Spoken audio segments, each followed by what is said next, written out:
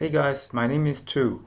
In this video, I'll be dem demonstrating about Tecnomatix plant simulation. So what we have here is a model of a warehouse. So these are the tracks and these are the storage area and the goods, uh, the components uh, pick up from this staging area and the uh, forklift will uh, enter the simulation from this uh, source. So uh, let's begin by calling out a forklift. So I'll just double click on the source. I'll choose 10 seconds. So the interval is 10 seconds and stop at 10 seconds. That means I will have only one unit of forklift entering the field. So I'll just click start. So start. So this is the unit. So uh, now it uh, random it move randomly within the tracks without any purposes. So we can do some automatic uh, work or some manual work. So let's begin by calling. Let's begin by giving it some commands. So we can just right click here. This is a custom dialog box.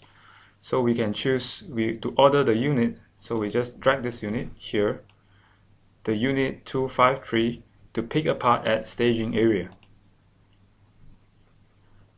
Click once and it will move to grab a part. So now it grabs a part called B. So we will choose where to put uh, this uh, part within the storage area. For example, if I want to move the B part to this block, so I'll just drag this block here and say go. And I've already um, predefined the storage height. For example, the first floor, second floor, third floor, and so on. So I'll just move this part to the first floor and place it on the first floor. Oops, so I uh, only have one part, so I already place it, and I'll just go to pick another part at the staging area. So this time is a C. So let's say the C I would like to put here and click go. And I'll put on the height of second floor place. And I continue to grab another part A and I'll go to this door go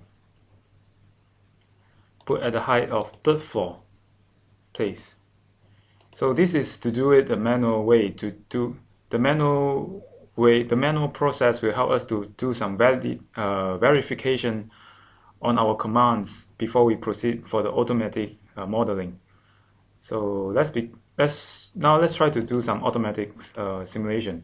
So for example, the forklift will automatically pick the part at the staging area and depends on the name or the category of the part uh, if you choose to place A, uh, part A at this store, part B at, this stores, and part C at these stores.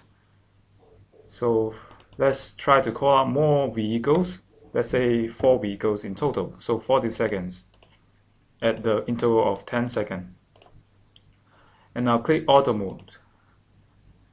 So notice that each of the vehicles will automatically pick a part at the staging area and depends on the name of the part it will put at the different storage area. So we can also do some uh, analysis.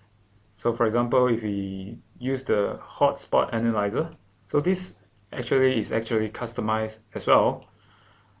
Uh, we can run the analysis, then this will show us what are the hot spot at the uh, warehouse.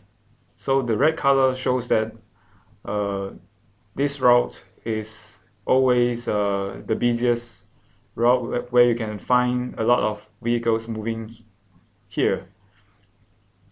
You can clear the results or we can just show real time. So this real time will always uh, automatically turn on and the color control will change with time. So, and we can do another analysis. For example, how many parts that a vehicle has already carried. So we can just uh, show the graph. So there are four vehicles in total. Each of the vehicles carry about eight components already within uh, 15 minutes. So let's speed up the simulation a bit. So let's go and apply.